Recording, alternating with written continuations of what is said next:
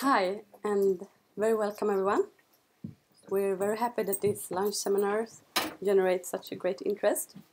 And I think we also managed now to get the technical things working because we're streaming this. So this is an online seminar, which means you should even more ask questions afterwards and meanwhile, meanwhile the presentation.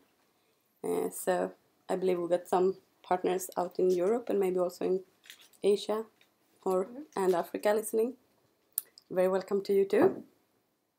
Uh, my name is Jill Jonsson and I'm working as a communications manager here at Karolinska Institutet.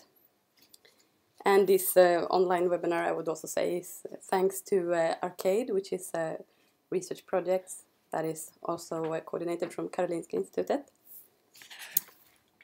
And today, what is this all about? Well, this is a seminar series, and this is the third one, this lecture, where we help you that works in EU research projects with how to communicate your research results to the general public.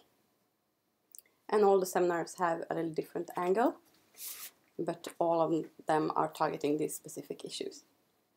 And we have two upcoming seminars, and the first one and the next one will be in mm-hmm. April, where we will talk about how to find your story within your EU project. Because sometimes it feels like you might not even have something to tell, but there's always a story to tell.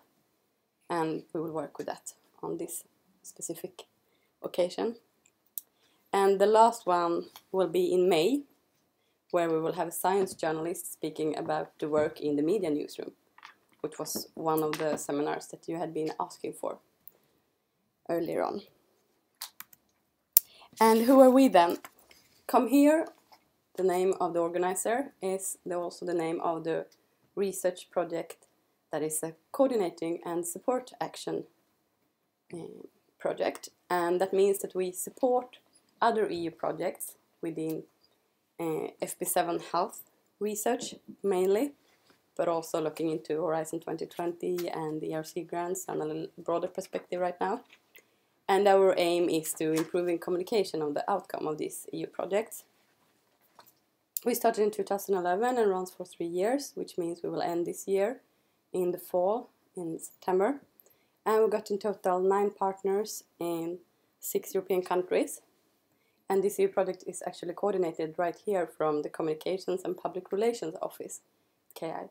And we have the coordinator Ulla Bredberg sitting over here. And my colleague Cecilia Odlind also working for the project here. Um, well, two very important upcoming events that I also would like to just tell you shortly about uh, is our next network meeting that will be given in Berlin next week. And I believe all of you should have one invitation with the program in front of you. So please have a look on that. And if you're interested, there is still time to uh, to just uh, send us an email and tell us, and you can join this. So this is also about uh, communicating EU research, but that will be on a very European angle then.